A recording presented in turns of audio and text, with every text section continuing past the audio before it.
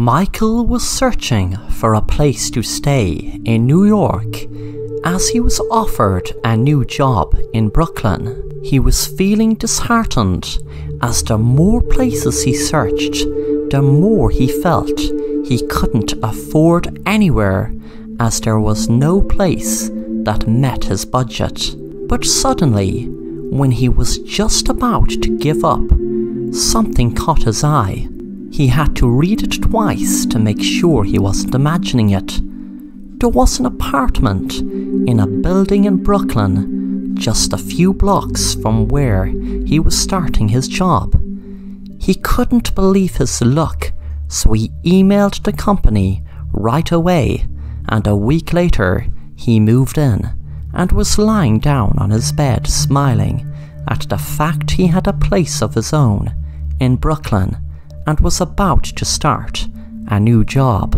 He began to read a book and relax as he was starting work in a week. He was feeling tired and was about to go to sleep, so he laid the book down beside him on the bed. Then he suddenly got a start when something like a shadow moved on the wall in front of him. He looked around expecting to see someone that made the shadow, but no one was there. No one was in the room.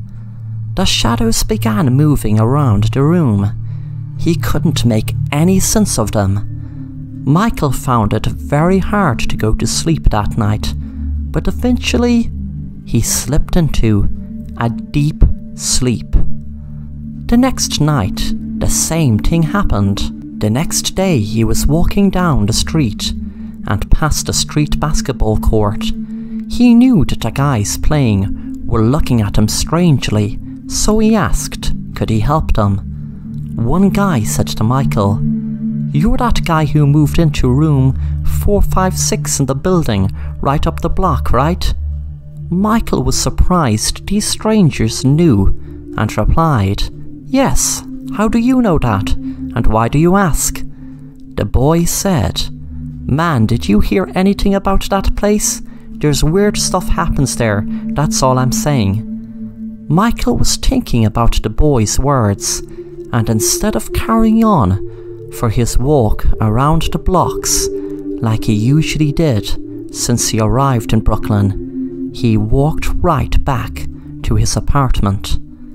He opened his laptop and searched his address, he froze in horror when he saw a photo of a little boy and a man and woman on the screen. He guessed they were his parents. As he read on, he learned that the little boy was out playing one day when a Necronomicon book from H.P. Lovecraft was thrown out the window from stories above and hit the boy on the head. The boy suffered memory loss and trauma and was put into foster care, and his parents were found in the apartment with their bodies mutilated. There was no evidence of anyone in the apartment, and no conclusion as to what really happened the boy's parents. Michael heard of H.P. Lovecraft before and knew about his famous monster, Cthulhu. Then suddenly shivers ran up his spine as he thought of the shadows going up and down the wall many times since he arrived in the apartment. They reminded him of what Cthulhu looks like that he saw down through the years. He remembered when he was a kid reading comics, and the character was in loads of the pages in different forms of horror.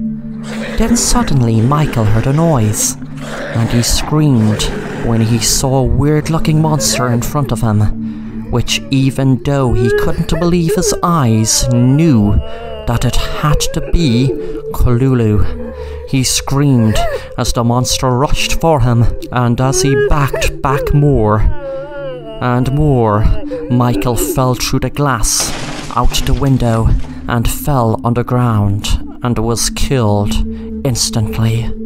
As he was falling to his death, his memory came back It was always Cthulhu who was making sure of Michael's fate. Michael got his job in Brooklyn and found the apartment and was drawn here by the spirit of Cthulhu, who hadn't finished him years ago. The curse only had power in the apartment. Just before he hit the ground, he had remembered he was that little boy in the photograph so many years ago that got knocked unconscious by the Necronomicon being thrown from his apartment. Now the job is done, and now Michael is gone.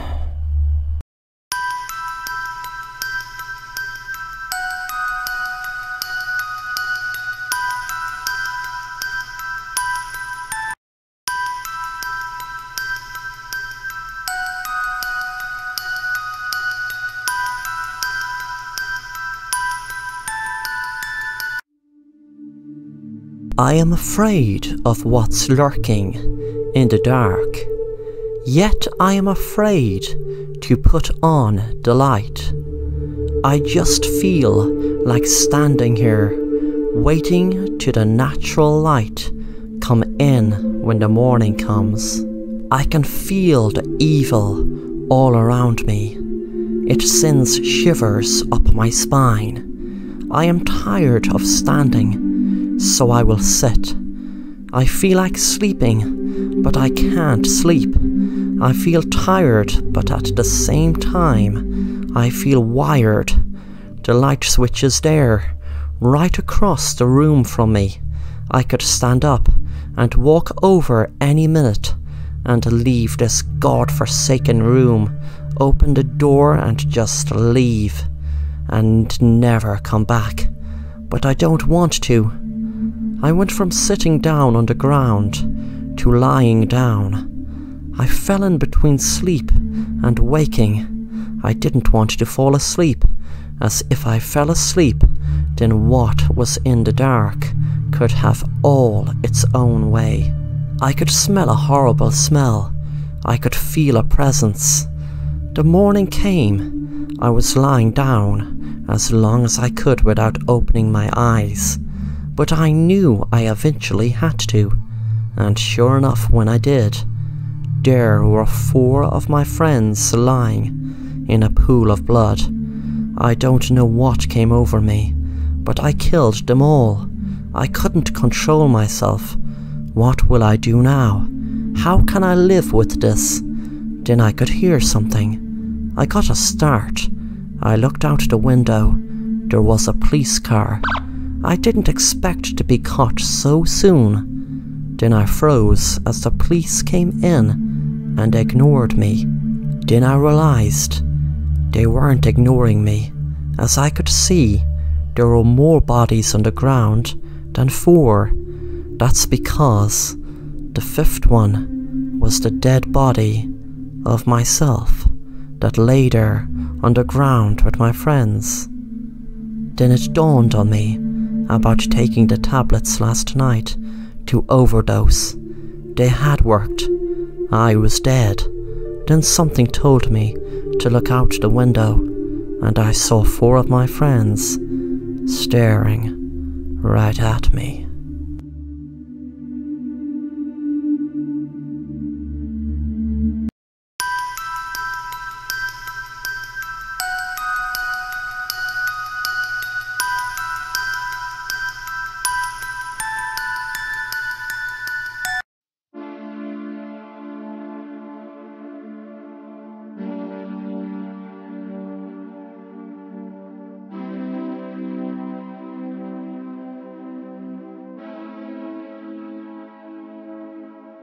Tony was found dead inside his office by two police officers. If you ever wanted to be an armchair sleuth, here is your chance to see can you help the police by finding clues that will deter whether this scene is a suicide or murder scene. Take a good look around the room and see what you can spot to help you make your informed decision. Don't leave no stone uncovered. Be sure to look out for anything that can point you in the right direction of solving this case. Have you your answer ready? Let's see. Are your super sleuthing skills enough to help the police in cracking this case wide open? Is this a suicide or a murder? First, let's look at the clues. The man's cup seems to tell us he might be right handed, so the gun on the left doesn't seem to be right for him to use his left hand. The place seems to be full of mess, also, which means it seems like there was a struggle in the room. Also, if you took notice at the start of the video, there is a man running in the background outside the window. Could he be the perp? The evidence is pointing to it be a murder.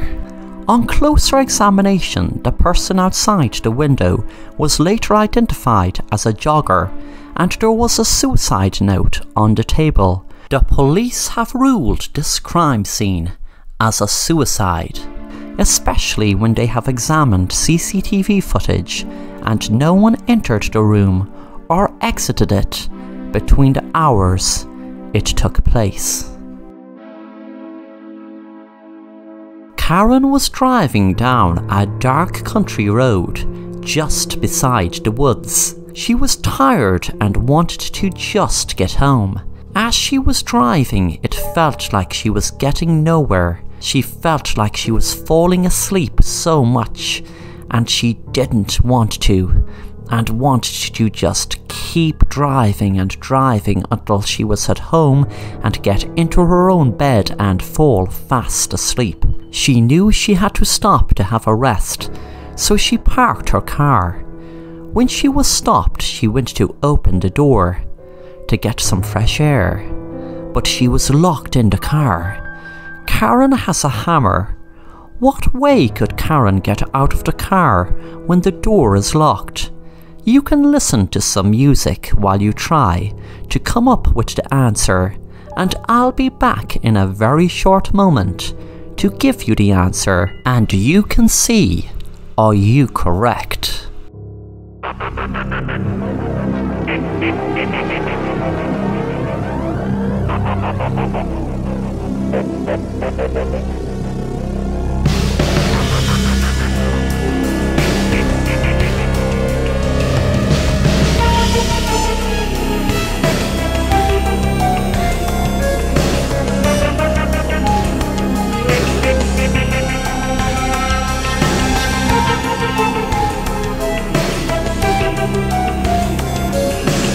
I hope you enjoyed that music while you were considering how could Karen get out of the locked car with a hammer inside.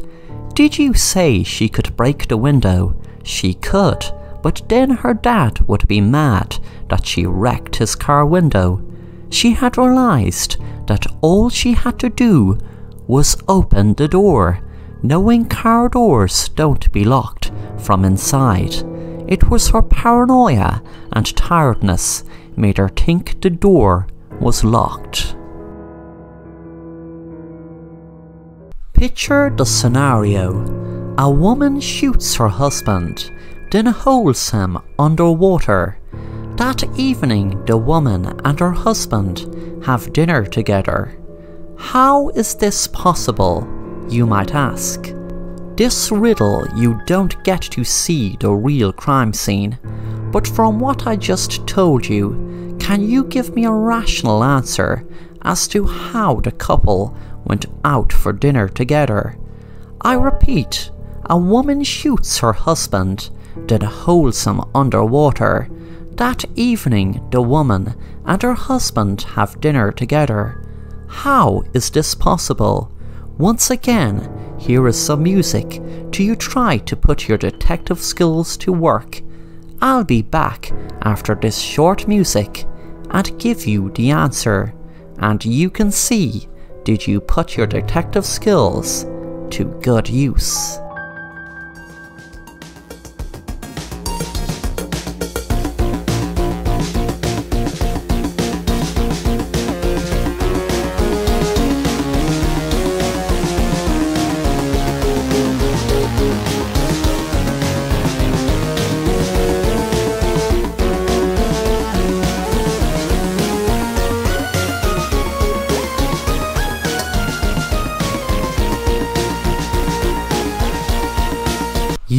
Wonder how can a man go for dinner with his wife after being shot and held underwater? But did you listen to my words carefully?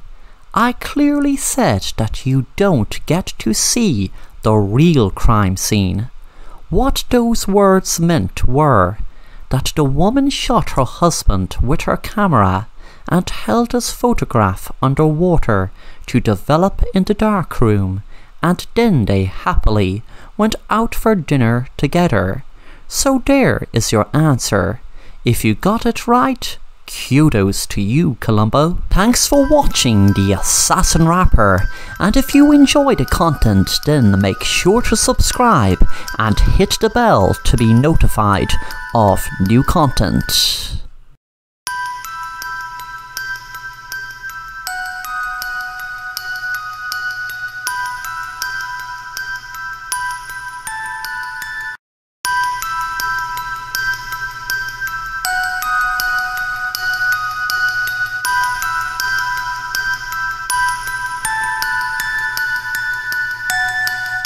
Simon was walking down the street, ready to deliver a package to the local TV station.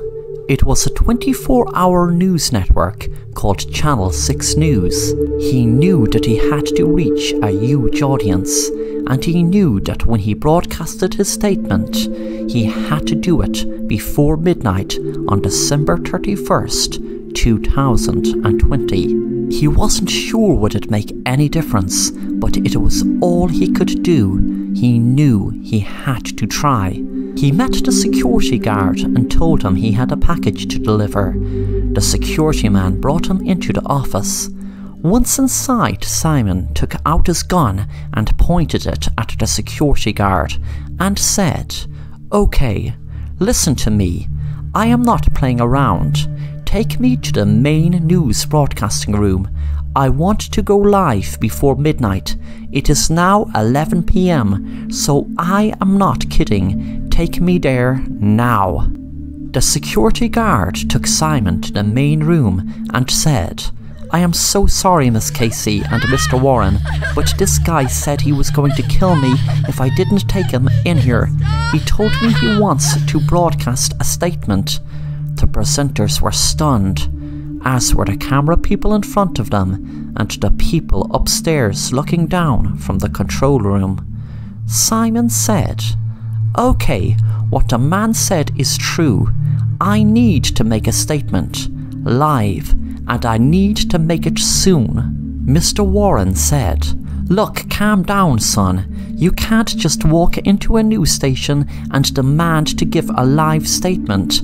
The second Simon walked into the room, they had cut to a commercial break, so no one was seeing what was happening. Simon held the gun to Mr. Warren's head and said, I am going to blow your bloody head off unless you get me on that bloody camera now to me give a live statement. And I don't want it on delay, I wanted to go out live. Mr. Warren tried to run and bring Miss Casey with him. Suddenly Simon got startled and by accident his gun went off and shot Mr. Warren in his head. He shouted, Look what she made me do! He ran over to the security officer and said, Get me live on air now. The security thought Simon was going to kill him, so he quickly got out his gun and pulled the trigger and shot Simon in his head. Simon fell dead on the ground. The police were called, and when an officer was searching his pocket, he found a piece of paper, which he thought must have been the script of the live statement he was talking about. It was midnight. He heard a strange sound, and people near the window shouted in amazement. He hadn't time to even read the first line of the statement, but he heard them shouting from upstairs. What the hell is that? He ran up to see what it was, and when he looked out the window, all he could see were UFOs all over the sky and the sky had turned red. He looked down at the piece of paper and read, I can't give this message online. They will find me that way. The only way is live on TV. They might still find me, but at least that way they won't be able to take it down straight away. I know that if I tried to mention it online, they would have words flagged it be disrupted before I get the truth out. After midnight tonight, there will be an alien invasion. This was known for months, if not years, by the elite around the world. Some of the aliens are here already. They were here for a very long time. I don't exactly know how long. Tonight, your president and elite government members around the world are sitting comfortable in underground bunkers. Those bastards did a deal with an alien race. It's a new world order. They're going to take over Earth. Humanity is going to be wiped out tonight, besides those elite bastards. I don't know what is in it for the elite, but I overheard this information. If anyone knew what I knew, I would have been killed, but I am telling ye tonight. With that, there were beams beamed into the studio, and everyone seemed to disappear. This was happening one by one. It seemed to the security guard that it took ages to the beam reach him. He thought to himself if the guy was allowed to give the statement, it might not have changed anything, but if people had known and had an underground bunker like those bunkers the Doomsday Prophecy people have had for years, then they would have a fighting chance. The beam landed on the security guard, and he disappeared into thin air. Down in a bunker, the president spoke. Well, my friends, there is food and essentials for about a week. We were promised the air above will be clean in about five days, so we just have to suffer the boredom down here. But when we're above, my friends, we will be in a much better world. We will be in a world that us and the reptilians can coexist in the open and not hidden like we have been for so long. Ah!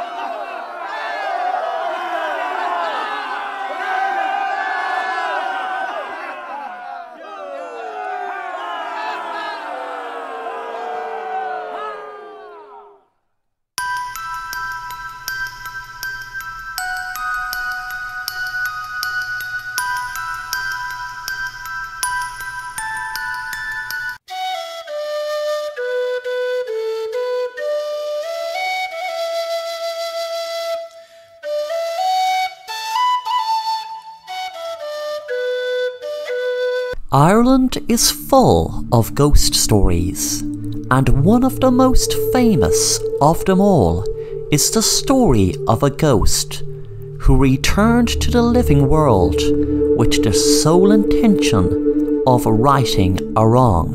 What makes this ghost story so famous and memorable is because James Haddock was acknowledged and celebrated by the bishop of the time, Dr. Jeremy Taylor. This gave the story a very strong foundation to be passed down through the years as an Irish ghost story.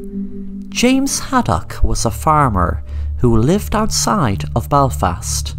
James died in the year 1657, but after his death, his spirit had returned to the land of the living to avenge those who did him wrong. James Haddock had made a will that those who should inherit his manor house and farm were his wife Arminel, his young son John Haddock was to receive the rest of it once he reached the age of 21. Mr. Davis was the name of the executor of James's will Davis married James's wife Arminel a few years after James's death. It was then was the start of the reason for James's spirit to start his haunting, as after James's death, Mr. Davis changed James's will where he put his own son as the beneficiary instead of John Haddock, who was the rightful heir. Davis would have got his own way only for the haunting of James Haddock. It started one night during September. James's friend Francis Taverner was on his way home to Hillsborough. Nothing was out of the ordinary until suddenly his horse stopped on the Drumbridge near Drumbeg.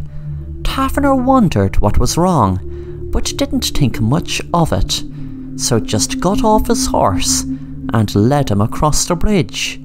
Suddenly he got a start when he saw a figure in a white coat appear right in front of him. Francis couldn't believe his eyes because the white figure in front of him looked exactly like his friend James Haddock, who had passed away five years before. Francis was shocked to the core when the ghostly figure begged him to make sure his son was the rightful owner of the land that was due to him. Francis refused and jumped on his horse and raced away like a racehorse. Francis heard a very strong wind and screeches almost like a banshee when all of this was happening. Francis was happy to arrive home, and as soon as he did, he fell down on his knees and prayed to God to protect him from whatever he just saw.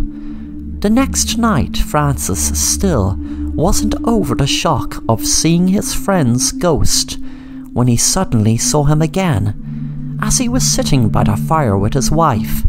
He was disappointed his wife could not see the ghost, and wondered why.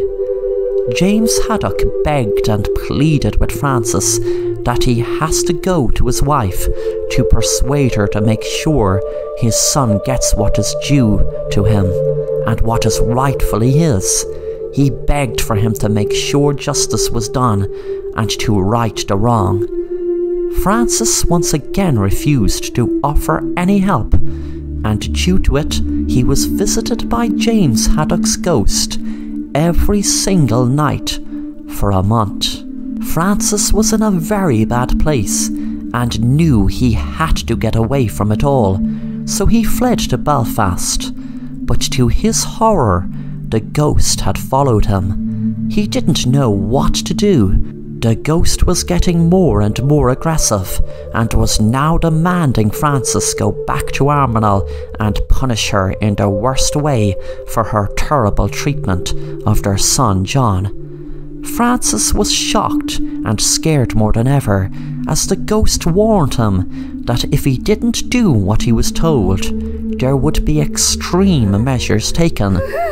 Francis Taverner knew he had to confide in someone and couldn't think of anyone else to go to for help besides his local chaplain. Francis explained the whole story from the very first time he saw the ghost on the bridge to the night before. When the chaplain was told not long after he had the whole story, he then went to visit Dr. Lewis Downs, who was the vicar of Belfast at the time.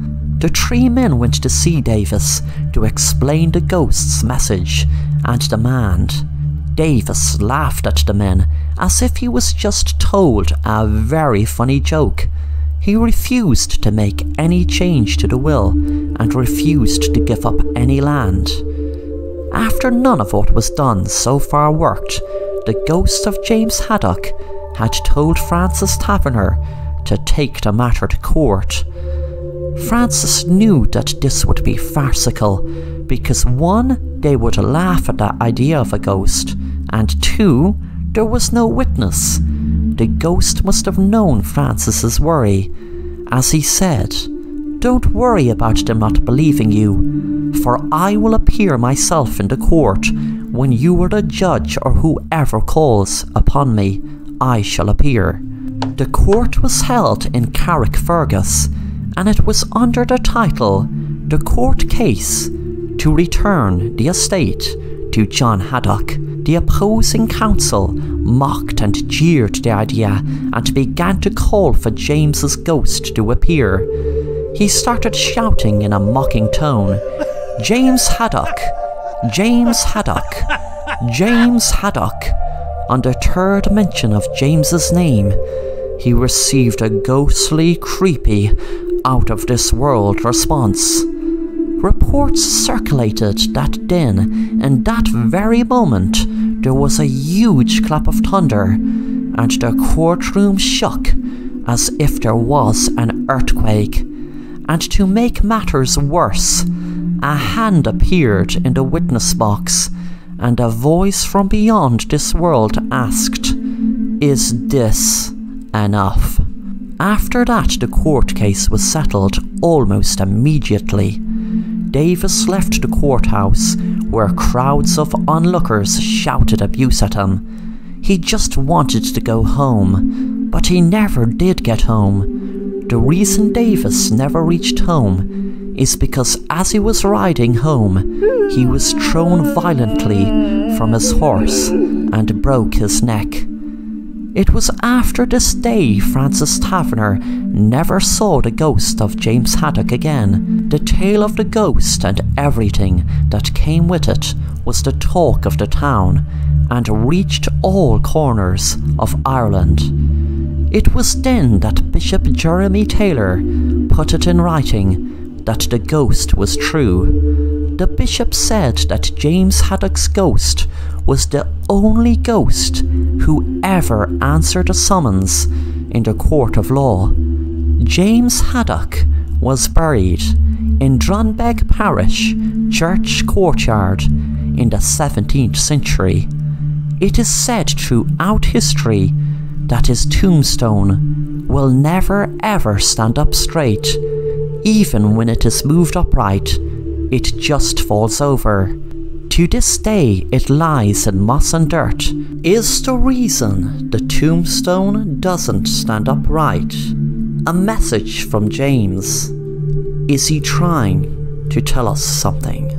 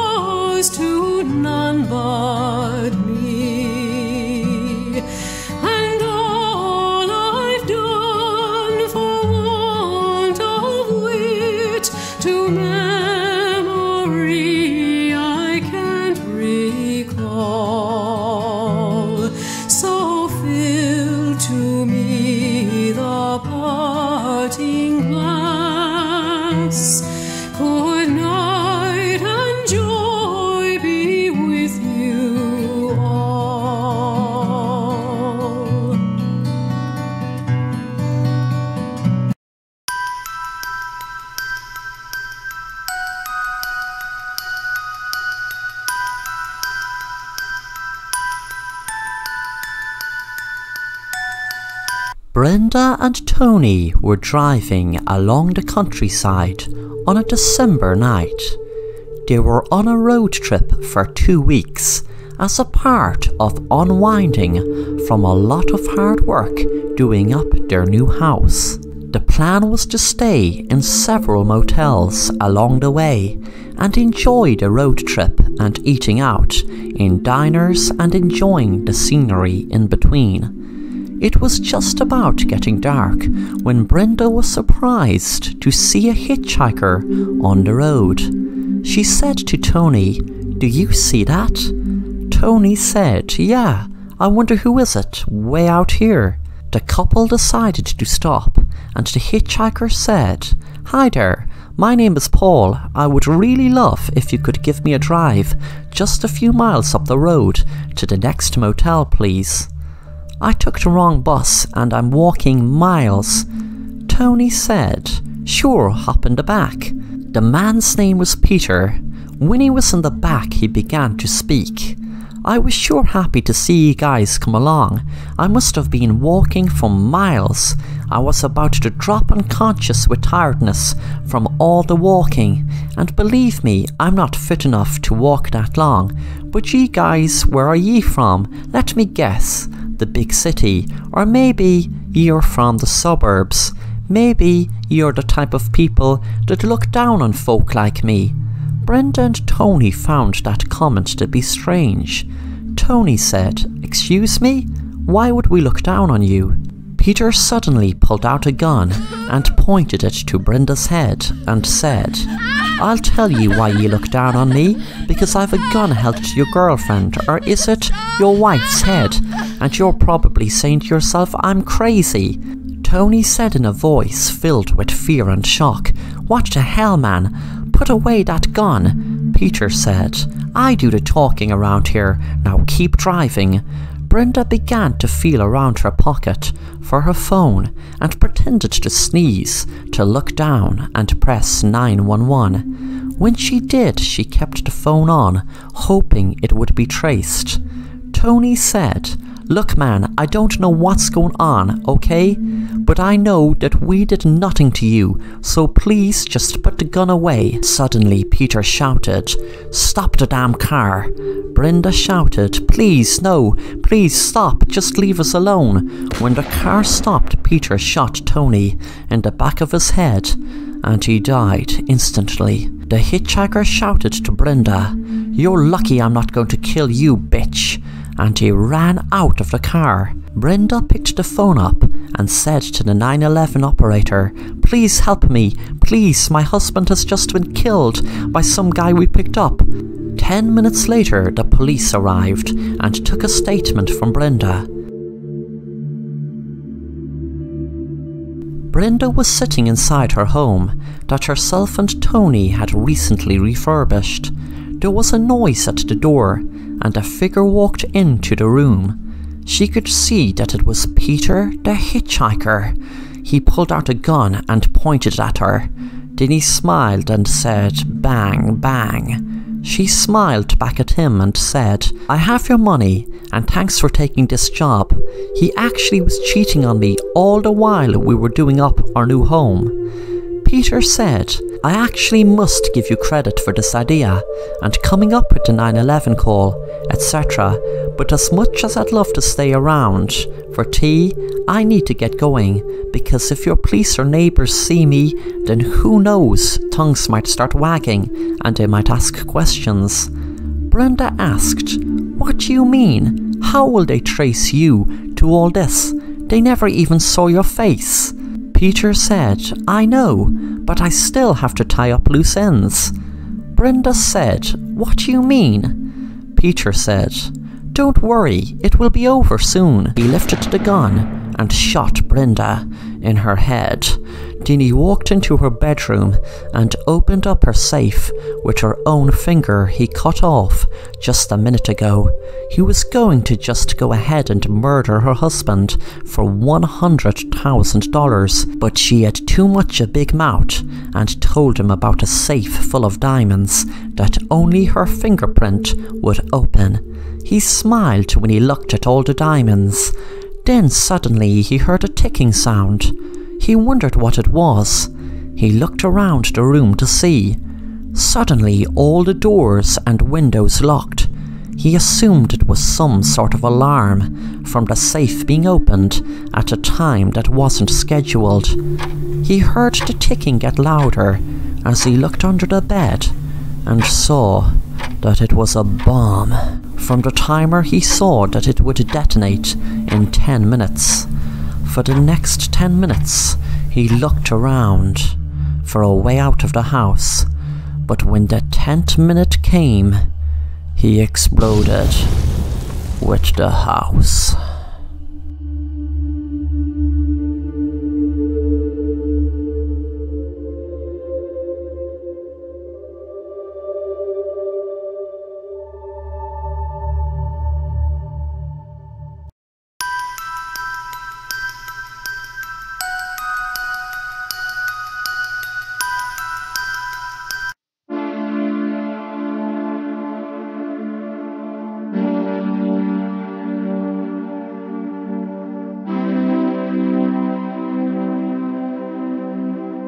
Joe was a therapist that saw lots of different patients with different problems, but little did he know that one of his patients would create a huge problem for him.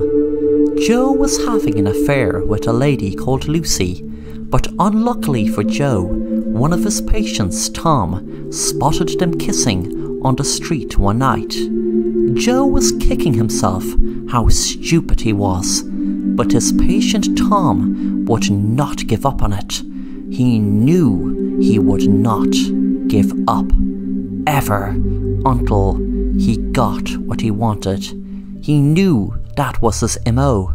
Joe worried about it a lot until one session Joe had a plan. Tom had threatened Joe he would tell his wife about the affair, and Joe knew he wasn't kidding. But Joe came up with a plan that he knew would work. Joe said to Tom, OK, Tom, I know that I've been sitting here telling you for months about you having to control your urges, and I know that you have some crazy fantasies that would get most people locked up in prison. But I have an idea for you. I created a plan that you could live out one of your fantasies that you were always talking about. This fantasy, Tom, is what I'm talking about. This fantasy would get you locked up, and I mean locked up for a very long time. But what I'm getting at, Tom, is I can make this happen for you. I can make this fantasy become a reality with no repercussions. Tom gave Joe a curious look, wondering what he was about to say. He said, What is this plan of yours, may I ask?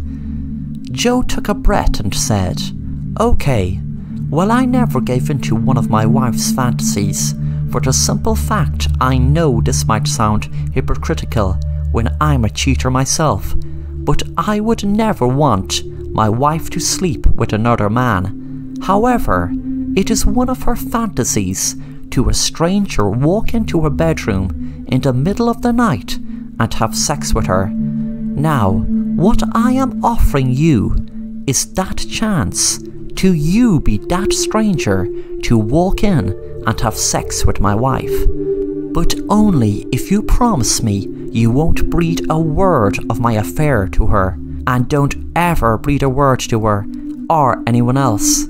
Tom sat back smiling, then said, Now, I must say, that sounds like a plan.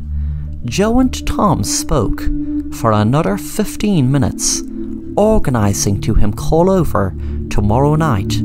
He gave his address and time. The next session Joe was feeling a lot better as he knew Tom loved the plan, and he had promised not to tell his wife.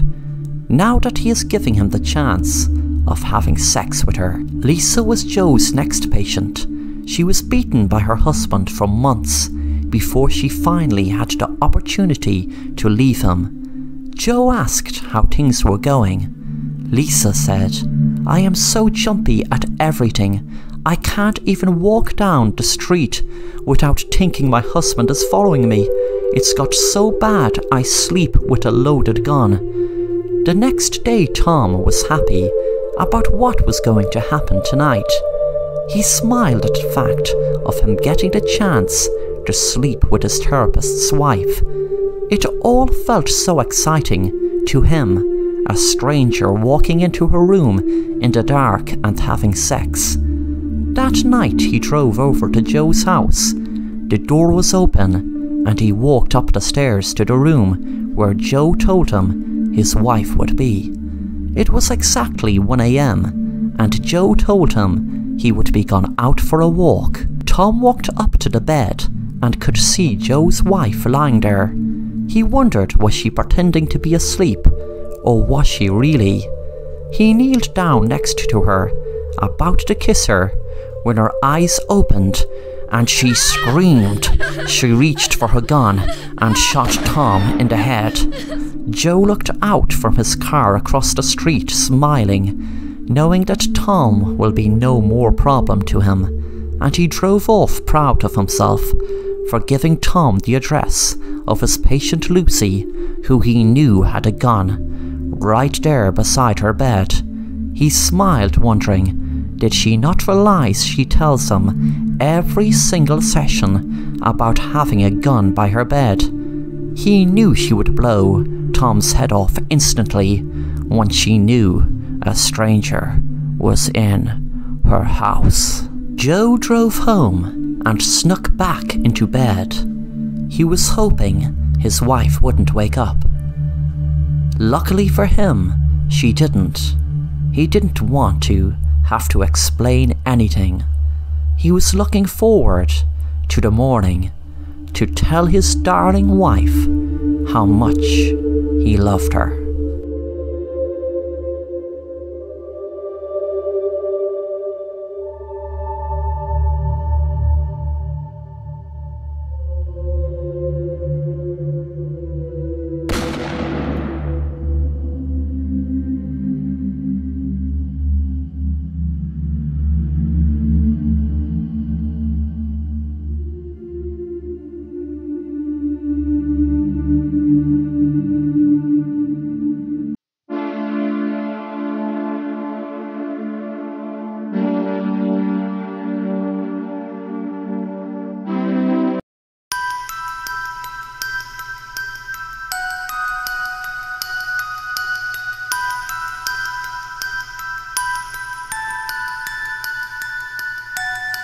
Jessie and her friend Kayla were at home watching a horror movie when they started talking about the local legend, Slender Man. Jessie was saying, Slender Man is real.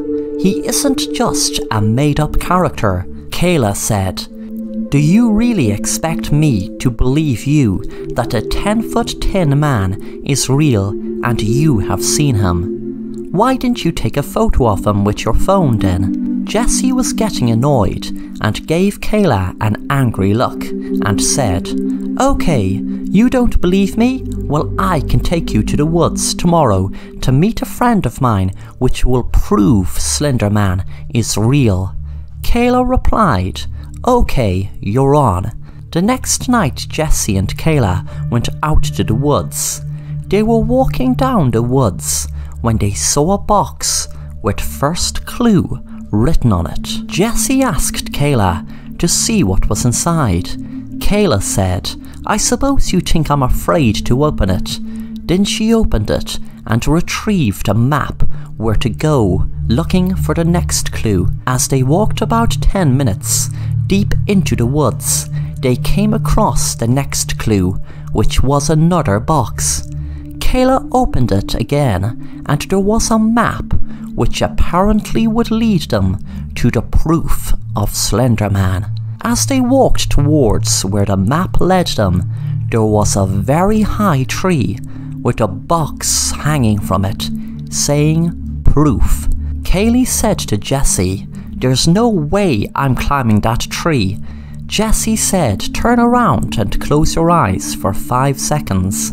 Then you can turn back around again and open them. Kayla said, What are you playing at?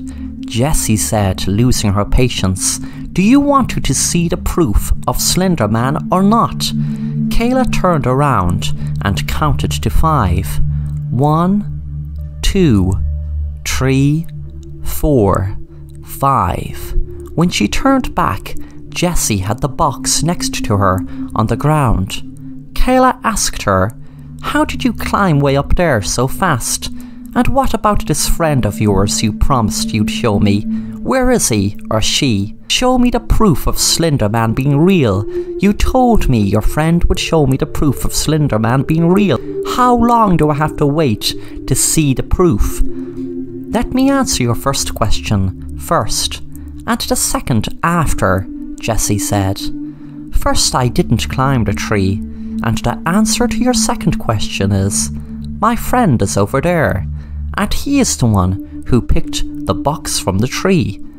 Jessie pointed over towards the trees, and Kayla screamed when she saw the Slender Man. Thanks for watching the Assassin Rapper, and if you enjoy the content, then make sure to subscribe and hit the bell to be notified of new content.